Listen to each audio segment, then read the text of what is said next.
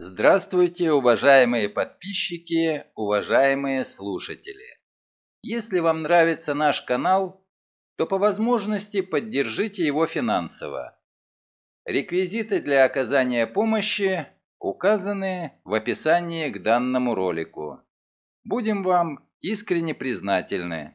С уважением, руководитель канала актер Юрий Яковлев-Суханов. Рекс Стаут И быть под лицом. Часть седьмая. На сегодня я уже закончил работу, мистер Вульф. Боюсь, что я не возьму на себя ответственность давать вам медицинские советы по телефону. Он говорил низким голосом, вежливо и устало. «Мне не нужен медицинский совет, доктор.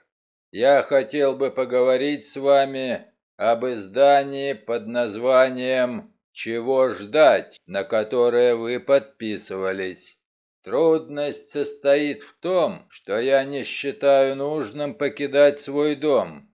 Я мог послать своего помощника или полицейского, или обоих сразу, чтобы они поговорили с вами но предпочитаю обсудить все с вами с глазу на глаз. Не могли бы вы зайти ко мне сегодня после ужина?» Очевидно, манера прерывать собеседника в семье Майклзов принадлежала только жене. Муж не только не перебивал, но даже не поддерживал разговор. Вульф повторил. «Это вас устроит?» «Не могли бы вы подождать еще секунду, мистер Вульф?» У меня был тяжелый день, и я пытаюсь сосредоточиться. Конечно. Пауза продолжалась 10 секунд. Затем он заговорил еще более усталым голосом. «Полагаю, что посылать вас к черту бесполезно. Предпочитаю не обсуждать эту тему по телефону. Я буду у вас около девяти». «Хорошо. Вы приглашены куда-нибудь на ужин, доктор?» «Приглашен?» «Нет, я ужинаю дома. А в чем дело?» «Я решил пригласить вас поужинать вместе со мной. Вы сказали, что только что закончили работу. У меня хороший повар. На ужин у нас свиная вырезка, тушеная в остром соусе, с умеренным количеством приправ.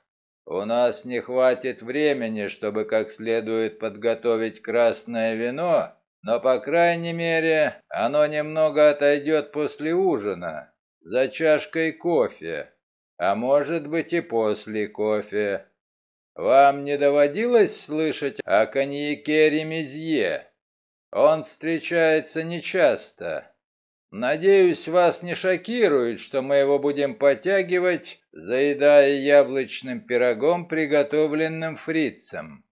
Фриц — это мой повар. Черт возьми, я еду. Ваш адрес? Вульф сообщил ему адрес и повесил трубку. «Черт вас возьми, и меня тоже!» — воскликнул я. «Пригласить абсолютного незнакомца? Он может намазать устрицу хреном!» Вульф нахмурился. Когда я узнал, что он идет домой ужинать с этим существом, я вынужден был так поступить. Даже если она подаст на развод за его вызывающее поведение. С моей стороны следовало бы избежать такого риска. Чепуха! Никакого риска нет, и вы об этом знаете. Вы просто пытаетесь сделать так, чтобы никто не заподозрил вас в гуманности. Вы проявили доброту по отношению к человеку и не хотите этого признать. Мысль о том, что этот несчастный идет домой ужинать со своей гиеной, слишком задела ваше большое и доброе сердце.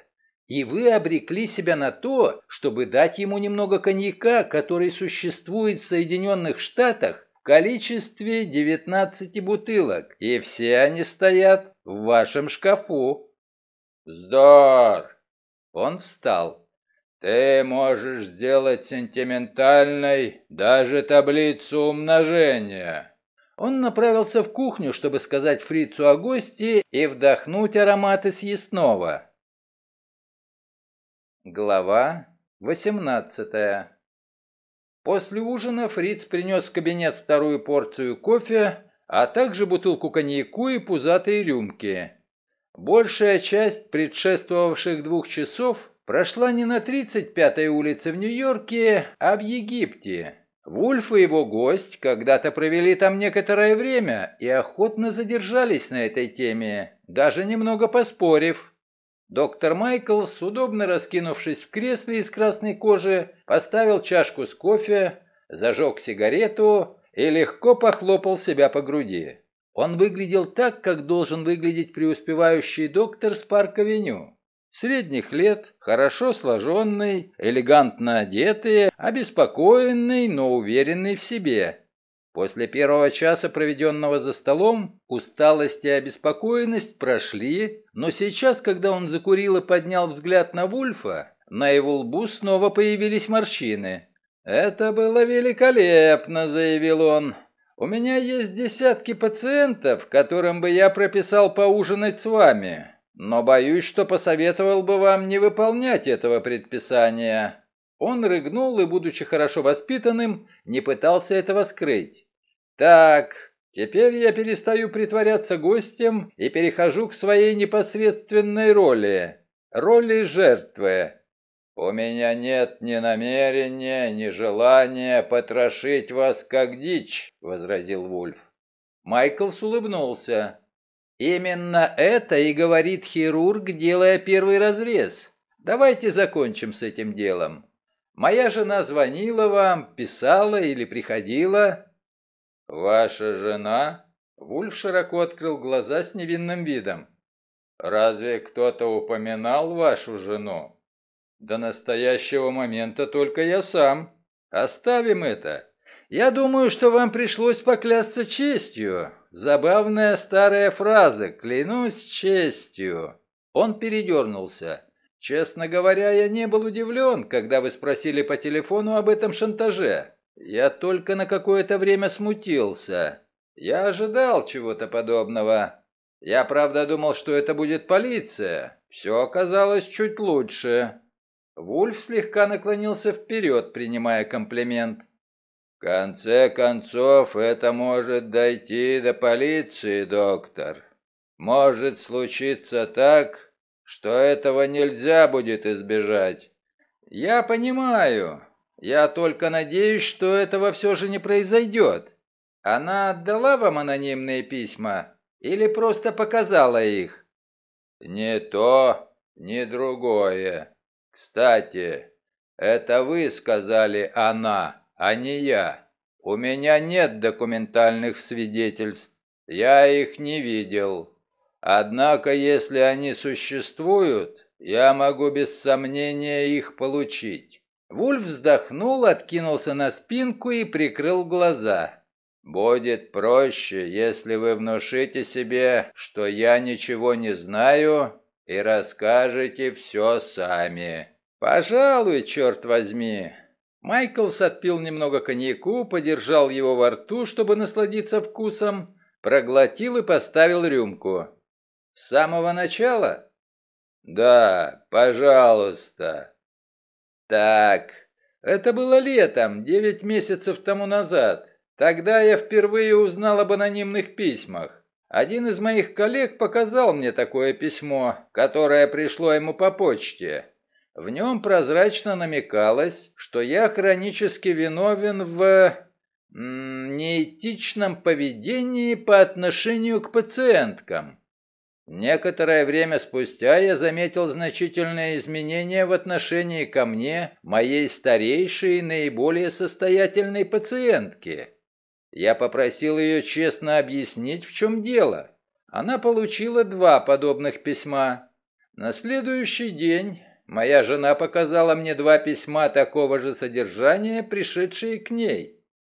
На лбу у него снова появились морщины.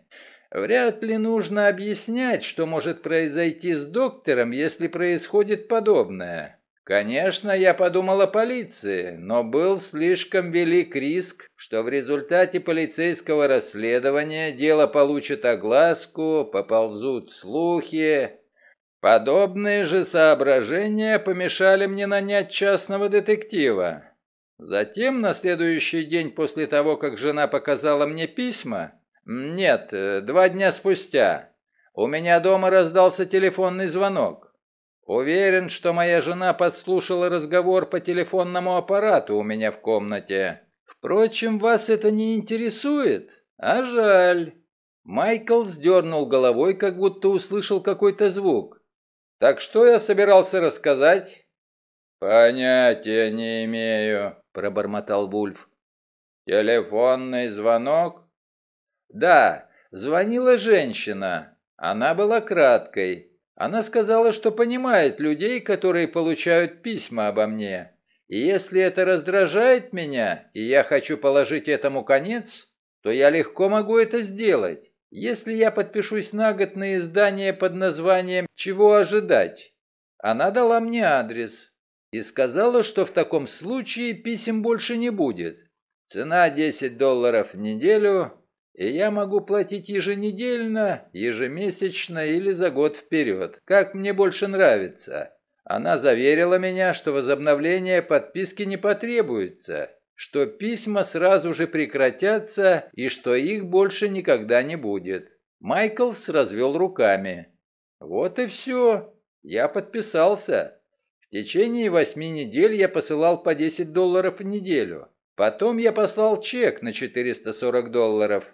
С тех пор, насколько мне известно, писем больше не было».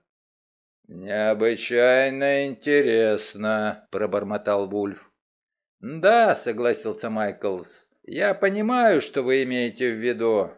Так говорит доктор, когда сталкивается с чем-то необычным, например, легким вросшим в ребро. Но если он достаточно тактичен, он не скажет этого в присутствии пациента, «Вы абсолютно правы, сэр. Приношу свои извинения. Но это действительно очень редкий случай. Замечательно. Если исполнение было столь же блестящим, как и задумка, письма были отпечатаны на машинке? Да, простые конверты и простая дешевая бумага, но отпечатаны великолепно. Вы сказали, что послали чек. Так разрешалось поступать? Майкл скивнул. Она ясно дала это понять. Или чек, или деньги переводом. Наличные также принимались, но из-за ненадежности почты это было нежелательно. «Да, восхитительно. Что вы можете сказать о ее голосе?» Среднего тембра, ясный и четко произносящий слова. Это была образованная женщина, я имею в виду хорошую дикцию и грамматику, и говорила она убедительно. Как-то я позвонил в это издание, как вы, вероятно, знаете, его номер есть в телефонной книге, и попросил к телефону мисс Пул. Говорившая сказала, что она и есть мисс Пул. Я обсудил с ней статью в последнем номере. Она была умна и знала, о чем идет речь, но у нее было сопрано, ничего общего с голосом, который объяснял мне, как избавиться от писем. «Так и должно быть. Вы звонили, чтобы выяснить это?» «Да. Я думал, что это принесет мне какое-то удовлетворение, поскольку в этом не было риска. Лучше было бы сэкономить 25 центов». Вульф скорчил гримасу. «Доктор Майклс, я хочу задать вам один вопрос». «Задавайте». «Я не стал бы этого делать, но этот вопрос очень важен, хотя и затрагивает ваши личные дела. Не будет никакого смысла задавать его, если я не буду абсолютно уверен в том, что вы либо ответите искренне, либо вовсе не будете отвечать. Если вы захотите прибегнуть к уверткам, возможно, у вас это получится, но мне этого не нужно. Обещайте мне, что ответите искренне или промолчите». Майклс улыбнулся. «Тишина — это так ужасно. Я дам вам прямой ответ или скажу, что не буду отвечать». «Хорошо. Насколько обоснованы были намеки о вашем поведении в тех письмах?» Доктор посмотрел на него, задумался и, наконец, кивнул. «Да, это действительно касается лично меня, но вы говорите, что это важно. Вам нужен подробный ответ?» «Настолько подробный, насколько это возможно». «Тогда я прошу, чтобы это осталось между нами». «Обещаю вам». «Принимаю ваше обещание и не требую клясться честью. Под этими намеками не было никаких оснований. Никогда со своими пациентками я и не думал переходить границу профессиональной этики. Но в отличие от вас, я глубоко и постоянно ощущаю необходимость в женском обществе. Думаю, что именно поэтому я так рано и так несчастливо женился. Возможно, ее деньги меня тоже привлекали, но я это категорически отрицаю. Хотя в моем характере есть плохие черты. Как бы там ни было, у меня есть близкая мне женщина, но это не моя жена. Она никогда не была моей пациенткой. Когда ей нужен медицинский совет, она идет к другому врачу. Ни один врач не возьмет на себя ответственность за здоровье того, кого он любит или кого ненавидит. Близкая вам женщина не могла послужить поводом для намеков в письмах. Не вижу, каким образом. В письмах речь шла о пациентках, во множественном числе. Приводились ли какие-нибудь имена? Нет, имен не было. Вульф удовлетворенно кивнул. Потребовалось бы слишком много исследований для того, чтобы проводить полномасштабную операцию, а в этом не было необходимости. Он привстал из кресла, чтобы дотянуться до кнопки звонка. «Я очень обязан вам, доктор Майклс. Для вас это было очень неприятно, но вы проявили терпение. Нет необходимости продолжать эту процедуру. Я не вижу также необходимости сообщать полиции ваше имя и обязуюсь не делать этого, хотя одному Богу известно, что предпримет мой коллега из полиции. А теперь выпьем пиво. Мы еще не пришли к единому мнению об остроконечных арках мечети Тулуна.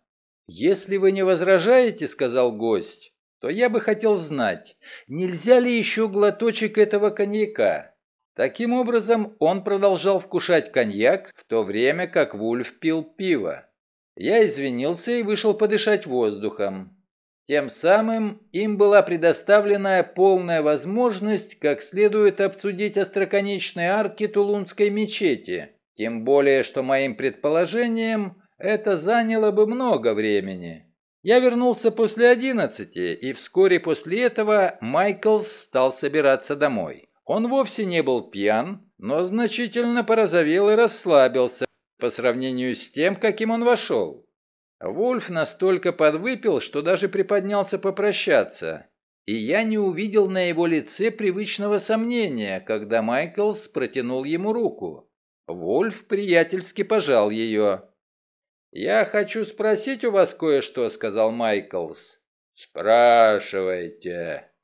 «Я хочу задать вам вопрос, связанный с вашей профессией. Мне нужна помощь, и я заплачу за нее».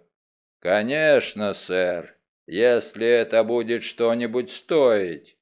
«Я уверен, что будет. Я хочу знать вот что. Если за вами следят, если вас преследует человек, сколько существует способов ускользнуть от него и что это за способы?» «Боже мой!» Вульф передернулся. «Как долго это продолжается?» «Многие месяцы. «Арчи!» «Конечно», — сказал я, — «с удовольствием». «Я не хотел быть навязчивым», — соврал Майклс, — «ведь уже слишком поздно». «Ничего, ничего, садитесь». Я действительно не имел ничего против, особенно с тех пор, как повстречался с его женой. Глава девятнадцатая «Это и впрямь кое-что объясняет», — думал я, причесываясь утром в четверг. «Это действительно шаг вперед». Затем, бросив расческу в ящик, я громко сказал «Да, вперед! Только по направлению к чему?» Когда расследуется убийство, обычно половина времени уходит на распутывание ложных нитей. Иногда это раздражает, но какого черта?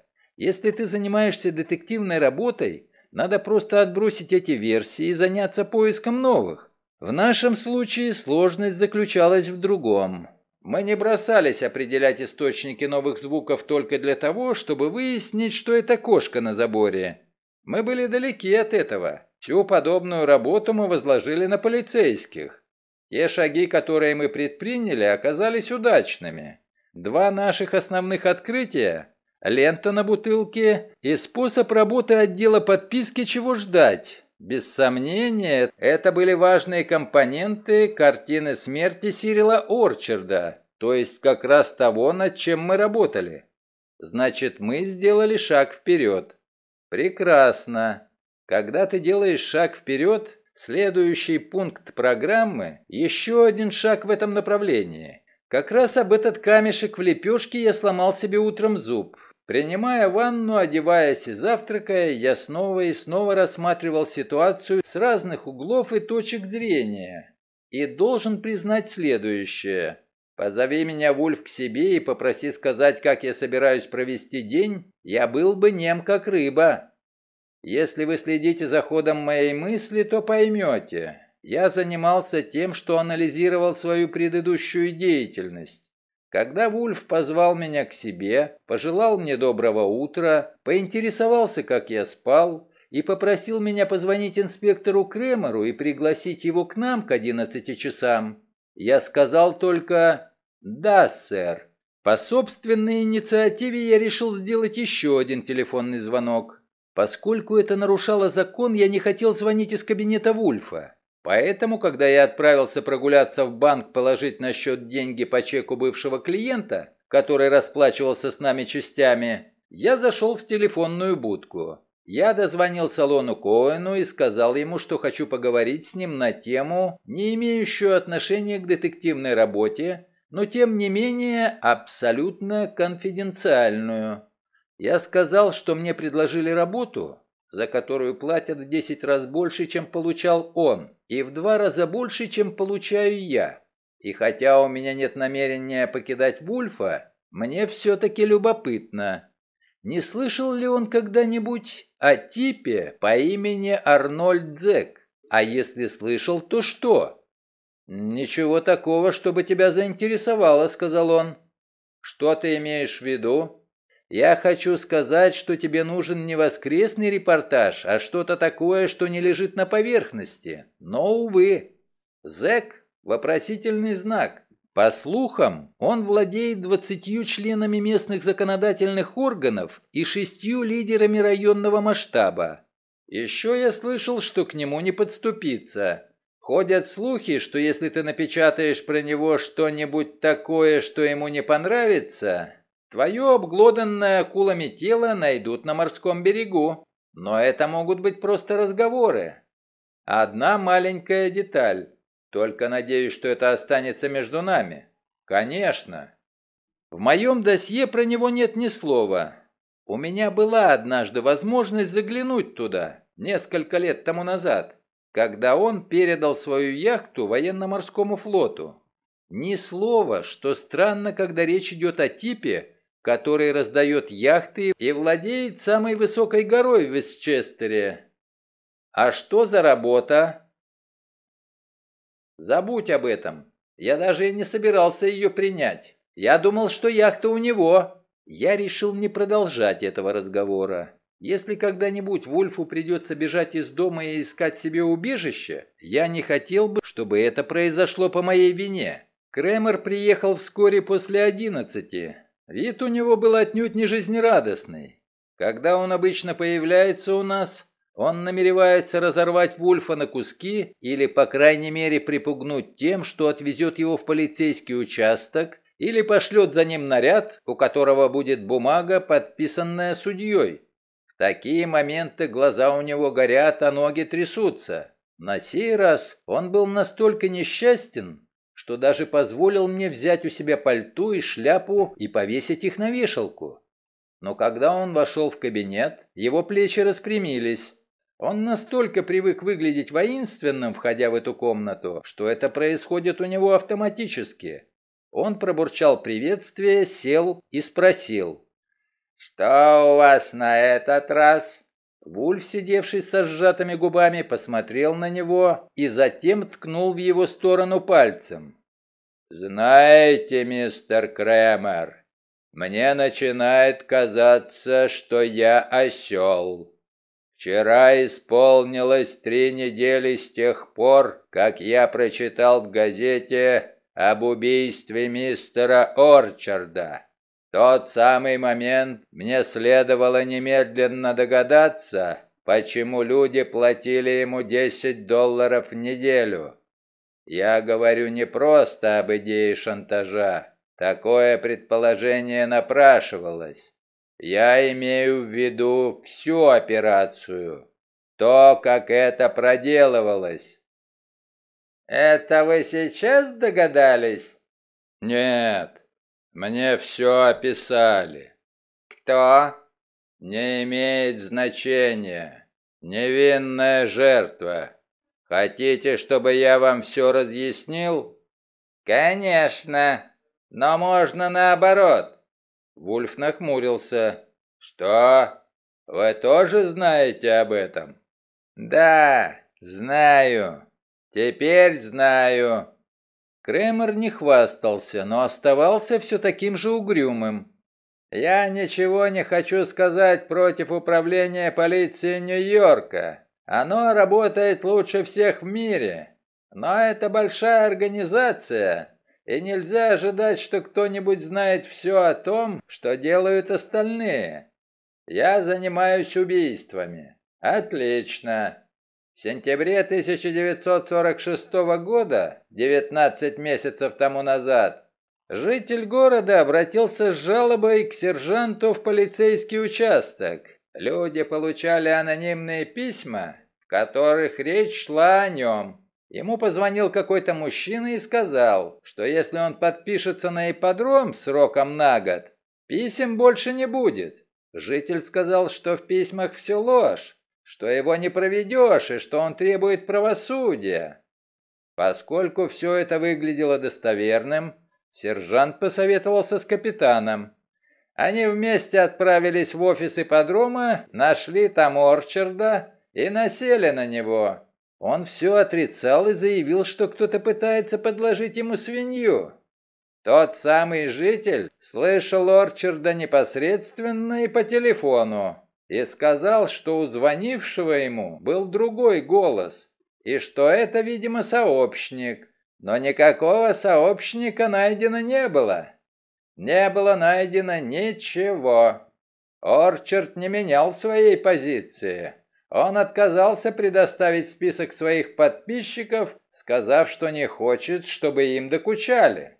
Поскольку состава преступления найдено не было, он имел право так поступить. Адвокат, нанятый жителем города, не смог заставить Орчарда давать показания под присягой. Анонимные письма прекратились. «Прекрасно», — промурлыкал Вульф. «Какого черта? Что же здесь прекрасного? Прошу прощения. Что же дальше? Ничего. Капитан вышел в отставку, живет на ферме на Рот-Айленде. Сержант до сих пор сержант. Так и должно быть, поскольку он не читает газет. Он работает в участке в Бронксе и в основном занимается мальчишками, которые швыряют камни в поезда. Только вчера он снова натолкнулся на имя Орчарда. Таким образом, я все и узнал. За исключением одного из них, который был полным ослом. Я послал множество людей, чтобы они переговорили с теми, кто как-то был связан с подписчиками, и спросили об анонимных письмах. С Савареза и Мадлен Фрейзер никаких результатов. Но мы раскрыли тот факт, что были письма женщине по фамилии Ликон, той самой, которая содержит косметический салон. Все то же самое. Письма и телефонный звонок. И она клюнула. Лекон говорит, что письма лгали, и, похоже, так оно и было. Однако она заплатила за то, чтобы они прекратились, и не сказала ни слова ни нам, ни вам, поскольку не хотела говорить. Кремер взмахнул рукой. «Вам что-нибудь понятно?» «Вполне», — отозвался Вульф. «Окей. Вы позвали меня, и я приехал, потому что, клянусь богом, не знаю, что мне это даст. Именно вы блестяще выяснили, что яд предназначался для Фрейзера, а не для Орчарда. Это кажется абсурдом, но что с того? Если в конце концов яд предназначался Орчарду, то кто в этой компании и зачем подсыпал его? И как быть с Бьюлой Пул? Работала ли она вместе с Орчардом или самовольно присвоила себе часть его списка? Господи, мне никогда не встречалось ничего подобного. Не подскажете ли вы мне, где выход? Я хочу знать. Кремер вытащил из кармана сигару, сунул в рот и сжал ее зубами. Вульф покачал головой. «Пока нет. Я сам слегка ошеломлен. Ваш рассказ был слишком кратким, и, возможно, если вы дополните его, это поможет делу». Вы не спешите? Черт возьми, нет. Тогда вот что. Если мы хотим увидеть связь между двумя событиями, необходимо точно знать, каковы были роли Орчарда и Пул. Предположим, что я умный и безжалостный человек, который решил заработать некоторую сумму на шантаже, при этом практически не рискуя. «Орчарда отравили, а ее застрелили», — нахмурился Кремер.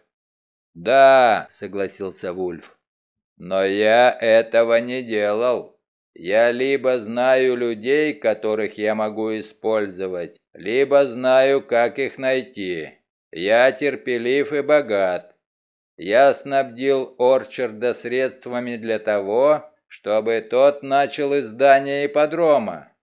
У меня есть тщательно приготовленные списки людей, занимающихся бизнесом или другой работой, имеющих приличные доходы. А род их деятельности делает их уязвимыми для моих нападений. Затем я начинаю действовать. По телефону звоню не я и не Орчард. Конечно, Орчард, который находится на виду, никогда не встречал меня, не знает, кто я такой, возможно, даже и не знает о моем существовании. Действительно, среди тех, кто вовлечен в операцию, очень немногие знают, что я существую. Возможно, только один человек. Вульф потер ладони. Все это вполне умно. Я забираю у своих жертв лишь небольшую часть их дохода, и я не запугиваю их тем, что могу разгласить какую-либо ужасную тайну. Даже если бы я знал их тайны, а я их не знаю, я предпочел бы не упоминать о них в анонимных письмах. Это не только испугало бы их, но и привело бы в ужас, а это мне не нужно. Мне нужны деньги. Тем более, что если списки правильно составлены, не нужно заниматься большой исследовательской работой. Нужно узнать лишь немногое, чтобы включить в них только тех людей, которые с наименьшей вероятностью вступят в борьбу, обратясь в полицию или используя другие методы. Даже если кто-то прибегнет к помощи полиции, что случится? Вы уже ответили, мистер Кремер, рассказав, что случилось. «Этот сержант чертовски туп», — проворчал Кремер. «О нет, там еще был капитан. Подумайте как-нибудь на досуге, что бы вы сами предприняли в подобном случае. Предположим, еще один или два жителя обратились бы с подобной жалобой. Мистер Орчард продолжал бы настаивать, что это козни врагов. В самом крайнем случае, если произошло бы невероятное и началась лавина жалоб, или если бы появился необыкновенно способный полицейский, что из того? С Орчардом было бы покончено, но не со мной. Даже если бы он захотел что-нибудь рассказать, то не смог бы. По крайней мере, про меня, потому что меня он не знает. «Он передавал вам деньги», — возразил Кремер. «Не мне. Он никогда не находился от меня ближе, чем на расстоянии 10 миль. Передача денег — важная деталь, и можете быть уверены, это было хорошо организовано. Только одному человеку доверено приносить мне деньги. Составить список подписчиков ипподрома не потребовало много времени. Их было не меньше сотни, возможно, пятьсот, но, предположим, двести. Это две тысячи долларов в неделю. Если Орчард получают половину, то после оплаты всех расходов он имеет больше 30 тысяч в год. Если у него есть хоть капля ума, это его удовлетворит. Что касается меня, то речь идет об общей сумме. Как много у меня подобных точек? Нью-Йорк достаточно велик для четырех или пяти. Чикаго – двух или трех. В Детройте, Филадельфии и Лос-Анджелесе по две в каждом. И еще, по крайней мере, десяток городов по одной. Приложив усилия, я могу заставить работать 20 точек. Но мы снова проявим умеренность и остановимся на 12. Это принесет мне ежегодно 600 тысяч долларов. Связанные с операцией расходы не превысят половины этой суммы.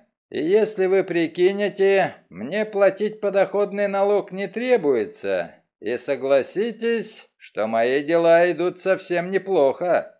Кремер хотел что-то сказать, но Вульф поднял руку. «Минуточку. Как я уже сказал, все это очень умно. Особенно то, что я избегаю реальных угроз относительно реальных секретов. Но шедевром этот план делает разумное ограничение дани. Все шантажисты обещают, что этот раз самый последний. Но я не только даю обещание, я держу его. У меня есть правило, которое я не нарушаю. Не требовать продления подписки. «Вы не можете этого доказать», — сказал Кремер. «Не могу, но я уверен в этом, поскольку в этом суть». Особая красота плана. Человек может примириться с болью, а в действительности это была не боль, а просто неудобство для людей с хорошим доходом, если они знают, что скоро это закончится, и когда приходит время, все действительно кончается. Но если я буду заставлять их платить год за годом, и этому не будет видно конца и края, я навлеку на себя беду. А для этого я слишком хороший бизнесмен. Гораздо дешевле и безопаснее найти четырех новых подписчиков в неделю для каждого издания. Это все, что необходимо для того, чтобы постоянно было 200 подписчиков. Вульф многозначительно кивнул. В любом случае, если я собираюсь остаться в бизнесе, а я собираюсь это сделать, я должен взять себе это за правило и неукоснительно его придерживаться. Так я и поступаю. Конечно, будет много маленьких трудностей, как и в любом деле. Я также должен быть готов к непредвиденным случайностям. Например, мистер Орчард может быть убит. В этом случае я должен узнать об этом сразу и немедленно направить человека, который уберет из его офиса все бумаги, хотя среди них нет ничего такого, что могло бы навлечь подозрение на меня. Я предпочитаю, чтобы враждебные мне силы ни при каких обстоятельствах не узнали о природе и масштабах моих операций. Но я не паникую. Зачем? В течение двух недель одна из моих сообщниц, та, которая говорит по телефону от имени изданий, публикуемых женщинами, обзванивает подписчиков ипподрома и сообщает им, что оставшуюся плату необходимо внести другому изданию под названием «Чего ожидать?». Лучше бы сбросить со счетов ипподром и смириться с этой потерей. Но я понял это только тогда, когда мисс Пул также была убита. К счастью, все находится под контролем. Снова необходимо очистить офис. На сей раз при неблагоприятных обстоятельствах и быстро. Вполне вероятно, что мой человек видел убийцу и даже может назвать его. Я хочу спасти бизнес и не желаю, чтобы его прерывали столь разрушительным образом, но не заинтересован в поимке убийцы. Я уничтожаю оба этих проклятых списка, сжигаю их и задумываюсь над созданием двух абсолютно новых изданий. Как насчет еженедельной газеты с новейшей информацией для покупателей? И, конечно, можно издавать самоучитель иностранного языка. Существует бесчисленное количество возможностей. Вульф откинулся назад. Вот та связь, которую вы искали, мистер Кремер. «Черта с два!» – пробормотал Кремер. Он задумчиво теребил нос указательным пальцем. Через секунду он продолжил. «Я думал, что вы закончите тем, что убьете обоих сами. Это также связь между двумя случаями, не так ли?» «Но такая связь не кажется мне логичной. Зачем мне избирать такое время, место и метод убийства Орчарда?» Или даже мисс Пул. Почему в ее офисе? Это не мой стиль. Если бы их и нужно было убрать, я наверняка организовал бы это лучше. Вы говорите, это был подписчик? Я так предполагаю. Не обязательно подписчик, но тот, кто смотрит на эти вещи с точки зрения подписчика. Значит, яд в конце концов предназначался Орчарду. Я так полагаю. Согласен, что это тяжело проглотить. У меня это застревает в горле. А меня тоже. Кремер был настроен скептически. Кое-что вы проглядели. Вам так понравилось притворяться преступником, что вы даже не упомянули, кто это на самом деле. Это терпеливая, безжалостная птичка, которая вытягивает ежегодно больше полумиллиона долларов. Не назовете ли вы мне его имя и адрес? Нет, твердо сказал Вульф. Я сильно сомневаюсь, что вы можете покончить с ним. А если вы попытаетесь это сделать, он узнает, кто назвал его. В таком случае мне придется вступить с ним в схватку, а мне этого не хочется. Я работаю для того, чтобы зарабатывать деньги и хорошо жить, а не для того, чтобы бороться за жизнь. Я не хочу, чтобы моя работа ограничивалась этой примитивной крайностью. Чепуха! Вы рассказали мне приснившийся сон. Вам просто не по себе при мысли о том, что вы знаете не все, поэтому вы и заливаете мне, что знаете его имя. Вы даже не знаете, существует ли он. То есть находитесь в таком же положении, как и Орчард. «Я-то как раз знаю. Я гораздо умнее, чем мистер Орчард». «Как угодно», — великодушно заключил Кремер. «Продайте ему орхидеи. Что мне с вашего рассказа? К моему отделу он не имеет отношения. Если он не стоял за этими убийствами, то он мне не нужен. Мое дело убийство».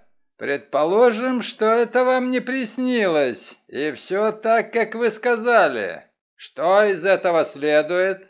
Как вы или я можем продвинуться хотя бы на дюйм? Неужели вы пригласили меня сюда для того, чтобы рассказать о чертовых газетах в двенадцати городах? Частично для этого.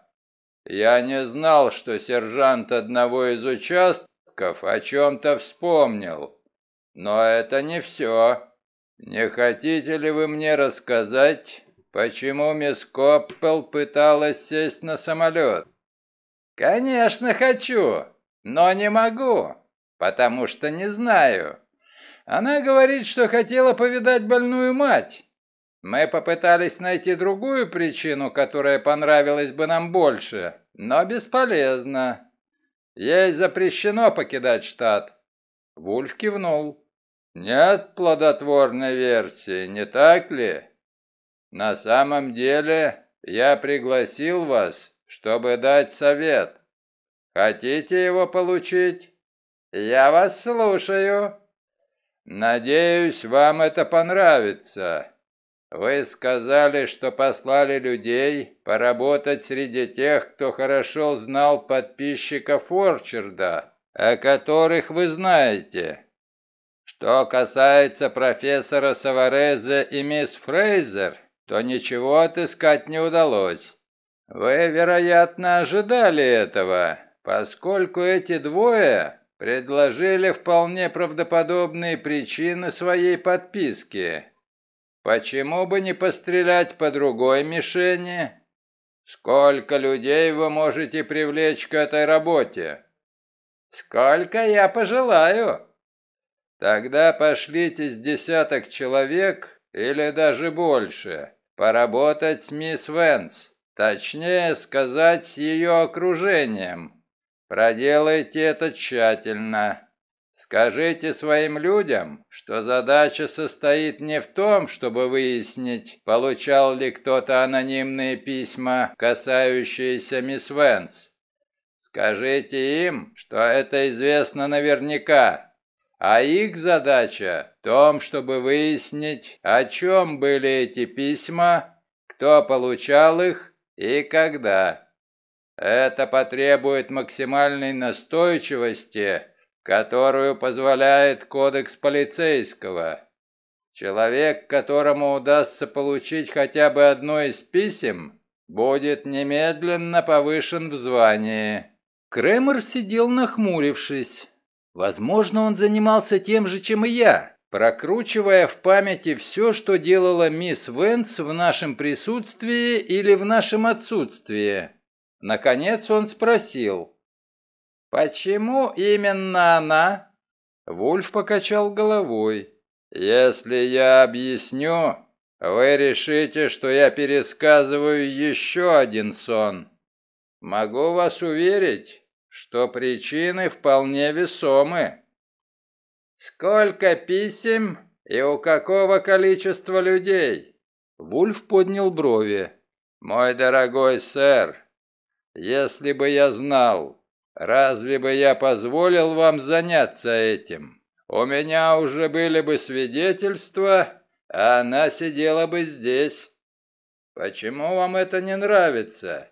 Я просто предлагаю конкретный способ расследования в отношении конкретного лица, которое вы мучаете более трех недель. Но теперь вы позволили мне заняться этим. Если в этом есть какой-то смысл, почему вы не наймете людей на деньги клиентов и не поручите им эту работу?» Вульф хмыкнул. На его лице было написано разочарование. «Прекрасно. Я так и сделаю. Можете не беспокоиться. Без сомнения, ваши догадки гораздо лучше. Глядишь, еще один сержант вспомнит о чем-нибудь, что произошло в начале века.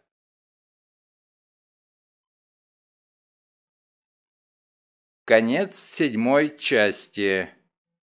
Продолжение следует. Если вам нравится наш канал, то по возможности поддержите его финансово. Реквизиты для оказания помощи указаны в описании к данному ролику. Будем вам искренне признательны. С уважением, руководитель канала «Актер» Юрий Яковлев-Суханов.